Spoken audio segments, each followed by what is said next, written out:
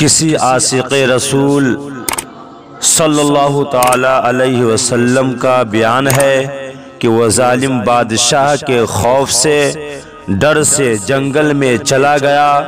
वहाँ जाकर उसने एक ख़त खींचा और उसे नबी करीम रऊफ़ुर्रहीम सल्लल्लाहु ताला अलैहि वसल्लम का मज़ार पाक तस्वुर करके एक हज़ार मरतबा हुजूर सल्लल्लाहु अलैहि वसल्लम की खिदमत में सलातो सलाम पेश किया।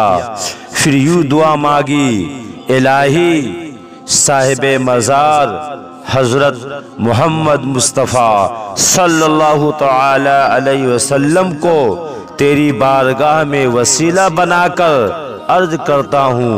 मुझे इस जालिम बादशाह से नजात अता फरमा। गैबी पुकारा, गैब से आवाज़ आई।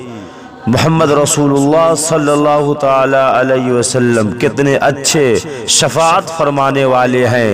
अगरचे मुसाफहत बहुत है, लेकिन वो अपनी शान अजमत करामत मंजिलत के वजह से बहुत करीब है। जाओ तुम्हारे दुश्मन को हमने ठिकाने लगा दिया।